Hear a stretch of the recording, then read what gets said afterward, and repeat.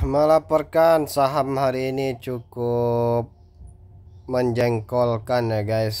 Ini kita lagi ber bergerilya mencari saham yang cukup bergejolak untuk day trading.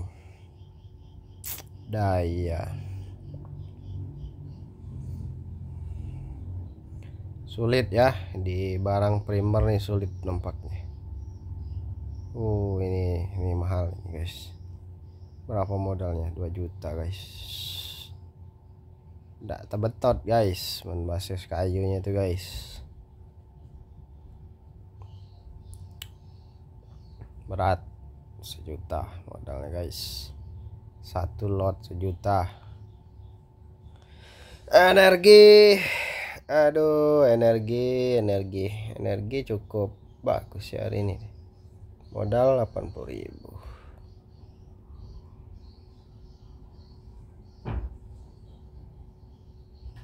Oke nantikan terus gerilya kita.